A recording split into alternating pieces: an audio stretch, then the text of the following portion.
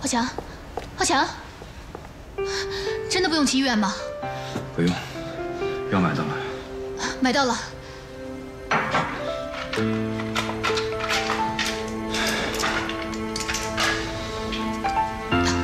给，来，慢点喝。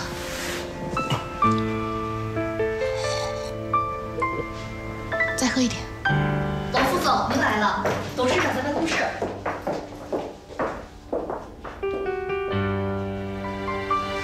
你来了正好，那我去工作了。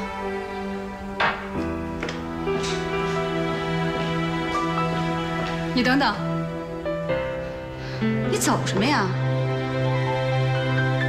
你刚才什么意思？王副总，怎么了？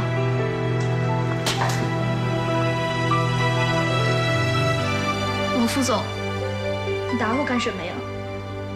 你少跟我揣着明白装糊涂。我为什么打你，你心里清楚。等等，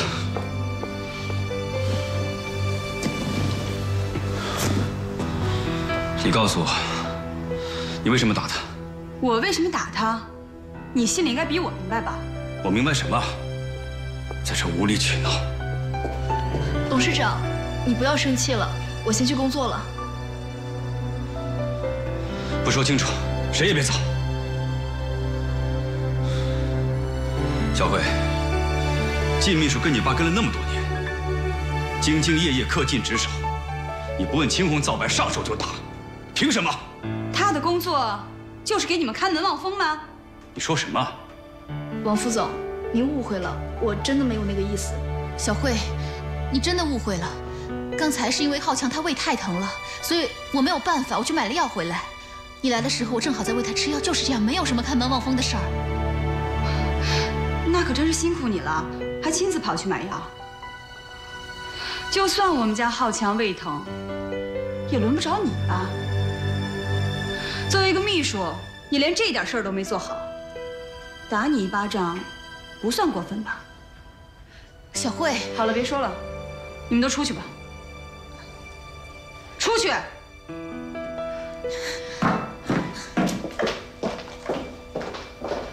搞清楚自己的身份，否则下一个挨耳光的呀，就不一定是谁了。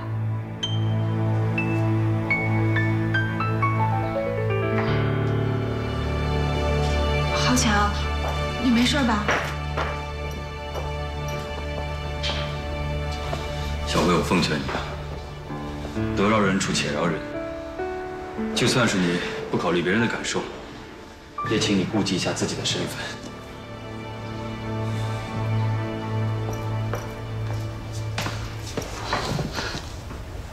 要是严重的话，我送你去医院吧。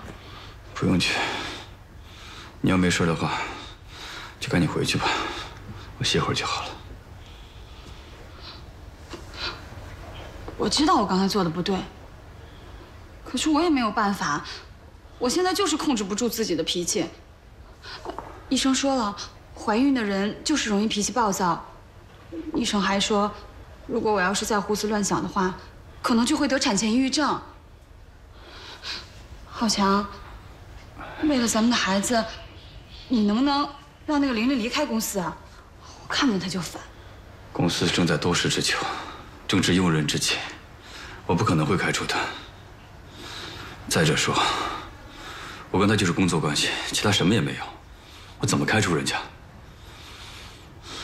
好，那不开除也行，你得答应我，除了工作上的事儿，你不许多跟她说半句话。